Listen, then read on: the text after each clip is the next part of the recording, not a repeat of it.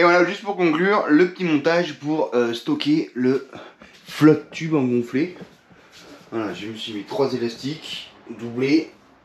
J'avais ça en stock à la maison, décroché. Et du coup, il y avait juste la place. Impeccable. 0 euros, ça prend pas de place au sol. Le truc il est stocké, gonflé. Juste à la remettre au-dessus.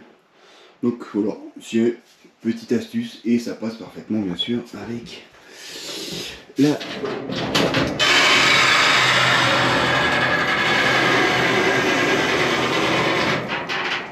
la porte de garage. Voilà, plutôt content de moi sur le coup. Ciao.